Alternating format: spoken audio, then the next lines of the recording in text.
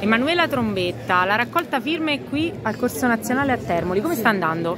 Sta andando bene, abbiamo dovuto eh, fare tutto il giro del Molise, stamattina siamo stati ad Agnone, abbiamo fatto i servi a posto stasera a Termoli, approfittando anche che c'è il senatore Pallone. Sono, sono stati raggiunti gli obiettivi che vi eravate prefissati o speravate in qualcosa di più? No, gli obiettivi sono stati raggiunti, abbiamo avuto un piccolo problema, l'abbiamo risolto e stiamo cercando di eh, perfezionare la, perfe- già perfe- la perfezione.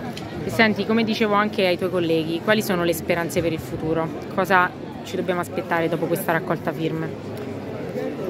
Le speranze per il futuro sono che ehm, le forze del dissenso possano entrare in Parlamento per eh, bloccare ehm, la tirannia e l'egemonia di questi partiti che oramai sono decenni che ci, che ci governano. Quindi la nostra speranza è che tutte le forze del dissenso possano partecipare attivamente alla, de- alla democrazia e la raccolta firme, la, la popolazione ha risposto bene a questa cosa, quindi ci dà speranza che ci sia una partecipazione attiva della popolazione.